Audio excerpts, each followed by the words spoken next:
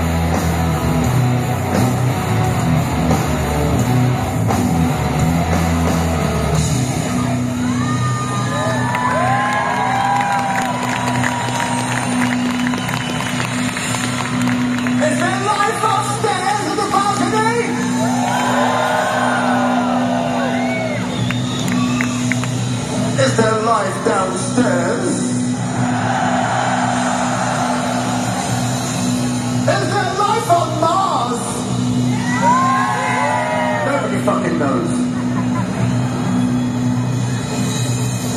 Get David Bowie.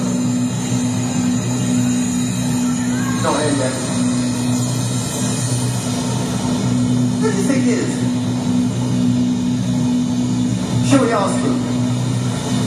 Let's get David Bowie in the house. Yeah. Take the little crystal ball. And we're gonna look. We're gonna ask him.